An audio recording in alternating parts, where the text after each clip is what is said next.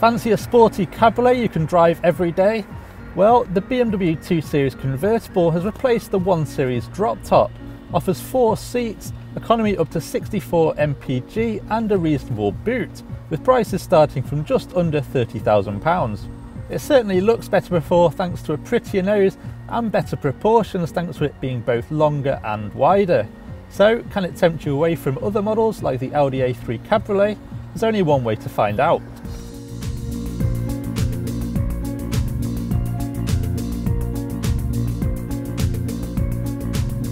Being rear wheel drive, the 2 Series convertible boasts perfect 50-50 weight distribution, giving it an immediate advantage over many of its rivals. In Eco Pro and Comfort mode, the driving experience is okay, but the steering is very light and the gearbox can be slightly notchy at lower speeds.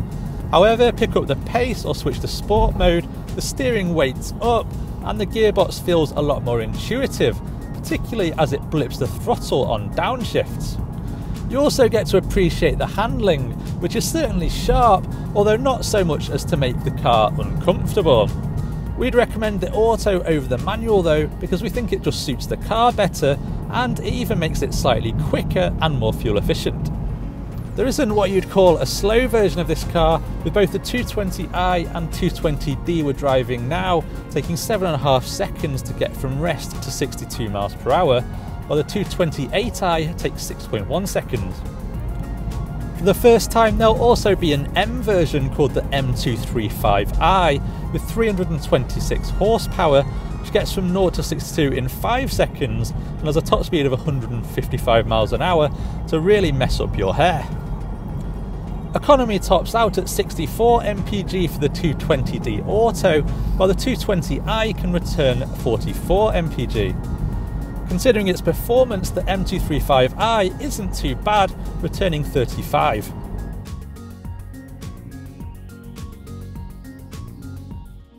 The interior of the 2 Series has a snug feeling, with a smaller windscreen than many rivals, giving a view out over the flat bonnet. The dashboard has a multi-layered design with a very widescreen infotainment system positioned above more traditional controls for the stereo and climate control.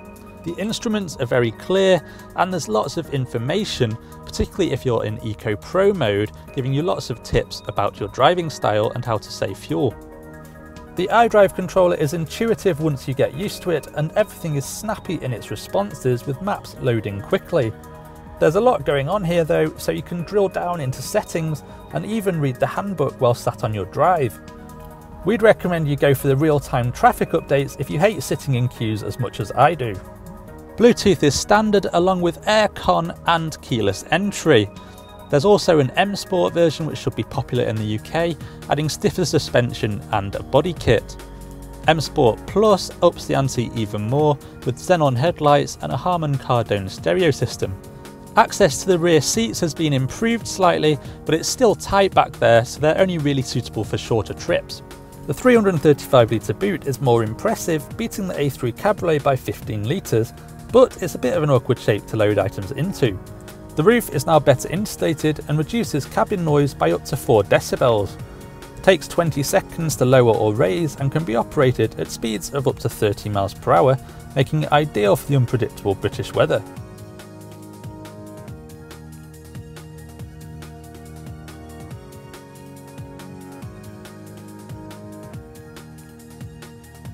The 2 Series convertible is an interesting car. It's sporty without quite being a sports car, can seat four just about, is economical and has a decent sized boot. In fact, you can justify it as a wholly sensible purchase, but then drop the top at weekends and blow away the cobwebs. But what do you think of the 2 Series convertible? Feel free to leave a comment below and don't forget to hit the subscribe button. To watch reviews of its rivals, click on the links at the end of the video.